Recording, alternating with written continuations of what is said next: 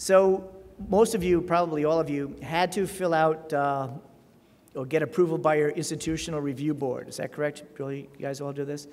Okay. Um, this really is a, if you can't read this, I've got um, the people up here in the hoods saying, Confess, didst thou not seek to delude all guileless youth that the world be round? The guy is saying, Man, I hate selling new textbooks in Texas. um, but the IRB is, you know, I, I kind of think of it as a necessary evil.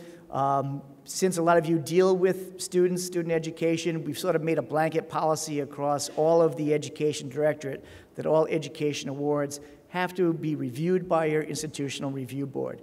In most cases, you've been determined to be exempt because there is an exemption for education under the common rule. Um, but there are some cases where you might be videotaping students in a classroom that then go on the web. You want to make sure that those students can't be identified. If you're collecting information from students, you know, you got to be careful about um, safeguarding their identity, et cetera. So everybody, it's not just you guys, everybody that gets an education award at NSF has to go through the IRB process. Okay, um, like I said, um, Talk to us on a regular basis. Don't hesitate to let us know. And not just when things go wrong, we like to hear about the good stuff too. So if you've got newspaper clippings, um, television, radio, campus news, things like that, we love to hear about that. Uh, I'll talk about NSF highlights a little bit later. Um, highlights are um, sort of like news items um, that we can then put into our presidential request to Congress. Sometimes we like to showcase some projects that we think are doing very well. Um, let us know when something's going to happen, like if you're going to have a professional development workshop, that might be a good time for a site, by, site visit by a program officer.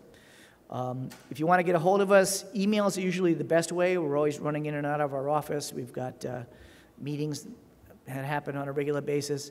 Um, so send us an email, or if you really want to talk to us on the phone, a lot of my uh, PIs will send me an email, and then using email, we'll set up a time to talk on the phone. Okay. Uh, one of my personal pleas is to please put your award number in the subject line of the email, because usually the question it comes up, and then I'll have to look up your file electronically, and I need the um, number to look that up. And if you don't have it readily available, neither do I. So then I have to look for the number first before I do it. So if you can put your um, award number in the subject line of the email, that saves me about 10 minutes. Okay. Um, crediting NSF, okay? We give you the money, we want to get some credit for doing this, all right? So when you uh, put out a publication or something like that, uh, we want you to say at the end that this material is based upon work supported by the National Science Foundation under grant number whatever. Uh, if you're doing a radio interview, we would like to, to acknowledge NSF support. A lot of times, a newspaper person will call you up and you'll do a little article. Try to convince the uh, newspaper person to put in something that NSF funded this work, okay? Um, and then on the other hand, we don't want to take any of the blame, right? So we also want you to put in a disclaimer here that says, any opinions, findings, and conclusions and recommendations expressed in this material are those of the authors and don't necessarily reflect the views of the National Science Foundation. Okay? Um, if you produce some materials, uh, we like to have the opportunity to get a copy, all right?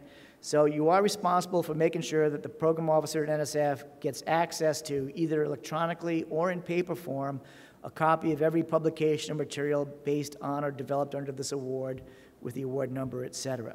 Okay? Now, sometimes the program officer says, no, my office is too cluttered, you know, don't bother. Okay? But you have to make that offer to the program officer, okay, to get the materials to them. And if you want to use uh, NSF logos, you go right ahead. All right, there's a website here uh, on the NSF website, and they've all got different varieties of logos.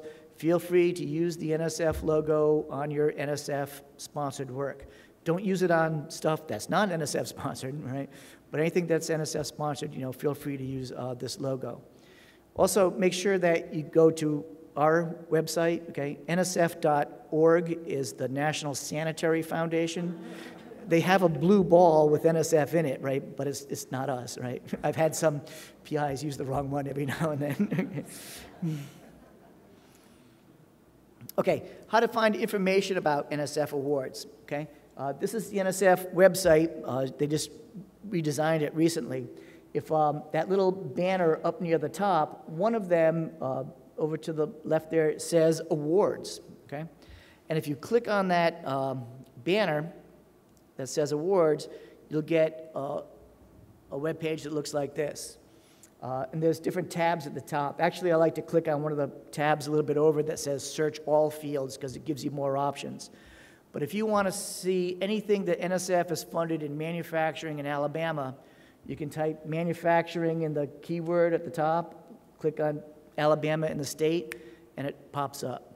And you can look at just active awards or you can look at historical awards back to 75 or so.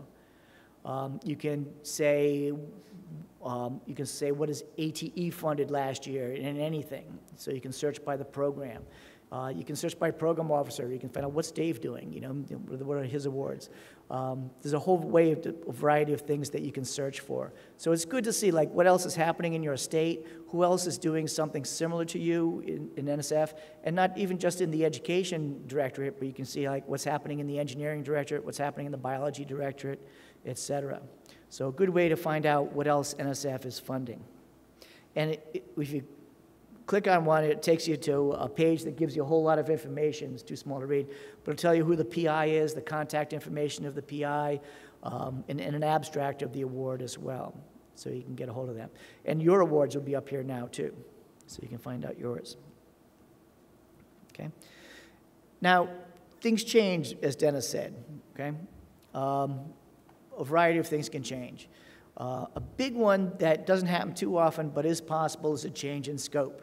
Okay?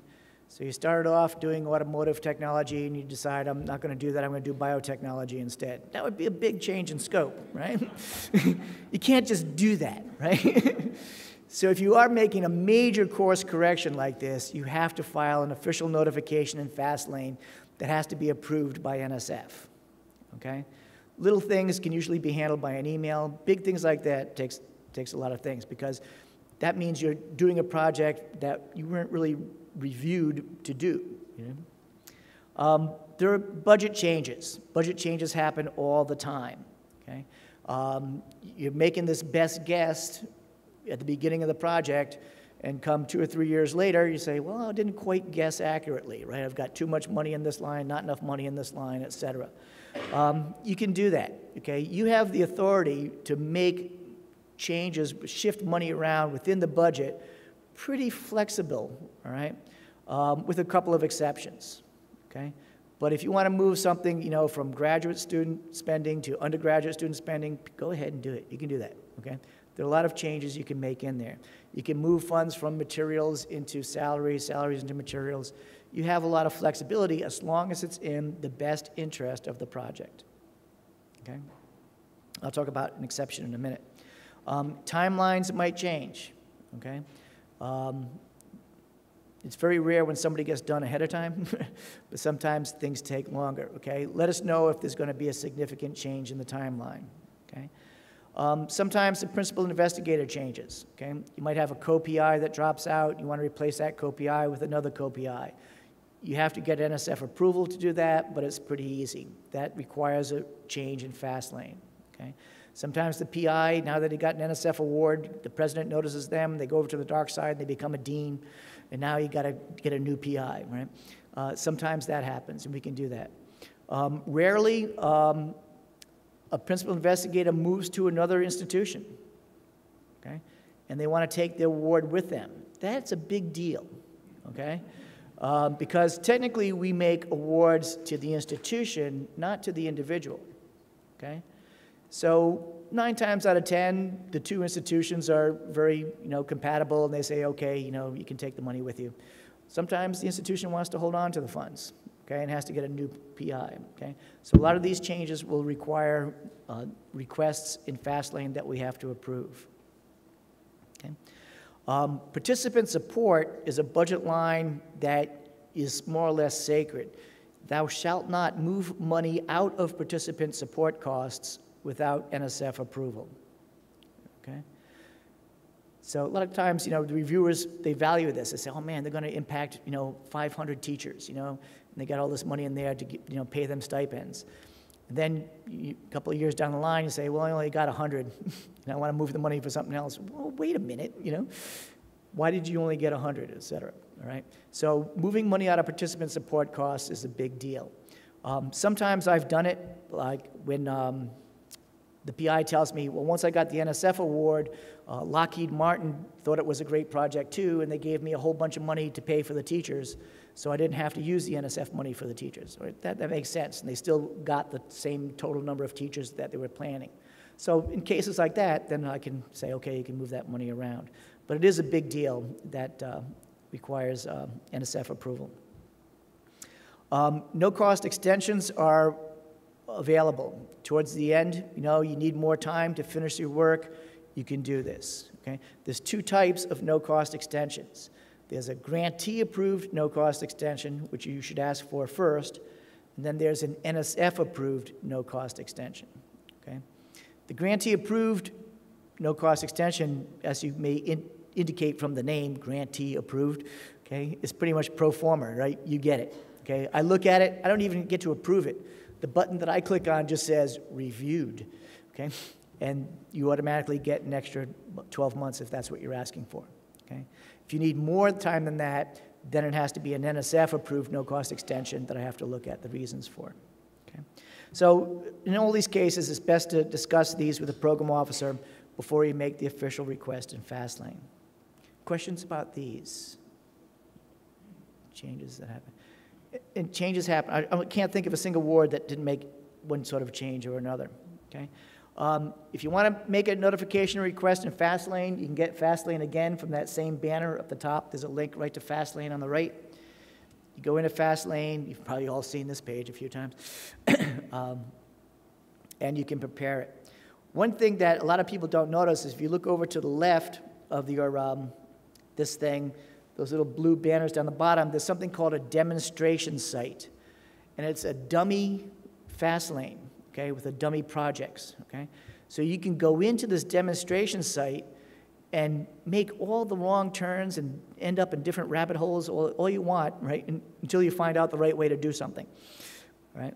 So it's a good place to practice before you want to do something uh, for the real time. You want to change a co-PI, you go to the demonstration site and make all your mistakes and try to figure out the right way on how to make your thing. A lot of times when a, a PI calls me up and says, how do I do this? I'll go on to the demonstration site while they're on the real site and we go through it sort of together to try to find the thing. So you can use Fastlane for notifications and requests. You're going to be putting in your annual and final reports in here. Um, your financial transactions that your business office will be doing, they'll be putting quarterly reports up, up on Fastlane. You all know that the proposal submission can either be Fastlane or grants.gov. And if you're asked to be a reviewer, and a lot of you probably will now that you're into the community, we're always looking for reviewers, um, you'll um, be reviewing proposals on Fastlane as well, and you submit your reviews on Fastlane. Um, now, remember I told you you've got we have a lot of rotators at NSF, people that come in and out. If you look at the program officers in the back of the, of the list here, I know that there's at least five of them that are rotators, okay? And so there's a chance that the program officer you started with might not be the program officer you end up with because they might rotate out, okay? Um, if you go to the award thing like we talked about before, and if you type in your award number, okay, and do the search, okay? Your proposal, your award number will come up, and it will tell you who your program officer is, okay? So you always should be able to find out who your program officer is at any time, okay? Um, there's other information on the DUE homepages. okay? If you go to the NSF uh, general website, you can go to the Education Directorate, We've got the various divisions there for Education Directorate, undergraduate education.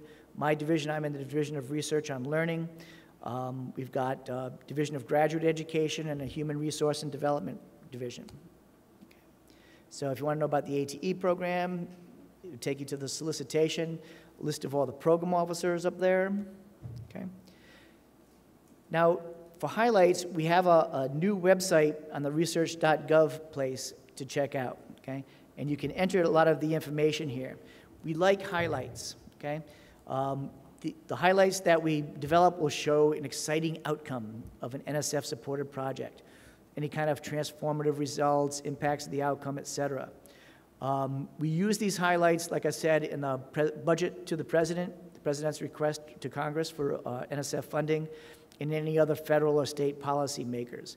We can give those to business and industry, the general public, we use them for NSF uh, general outreach as well, okay?